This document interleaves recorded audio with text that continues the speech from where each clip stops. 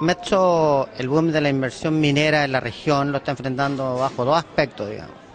Primero, desde el punto de vista personal, está formando sus propias escuelas de entrenamiento y también haciendo alianzas como la que estamos haciendo actualmente con la Universidad Católica del Paraíso, digamos, para detectar talentos y formar personal. Desde el punto de vista de servicio de suministro a los clientes estamos invirtiendo, digamos. De hecho, el próximo año vamos a tener nuestro propio workshop en Antofagasta para poder atender todos los requerimientos de las nuevas mineras y las existentes y también estamos haciendo lo mismo en Arequipa, en Perú.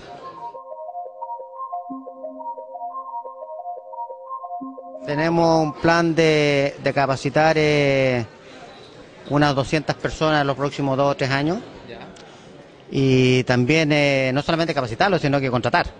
A nivel eh, regional. A nivel, solamente estoy hablando a nivel de Chile. A nivel regional es evidentemente que es mayor la cantidad. Ya. Y eso iban a ser seguramente empleados de la, de la compañía. Empleados Metro, claro. Metro quiere tener sus propios recursos, sus propios conocimientos. digamos. Nosotros no tenemos eh, una política de subcontratación. Tenemos una política de tener nuestra propia gente eh, que crea más confianza en los clientes y también eh, ciertas lealtades internas también.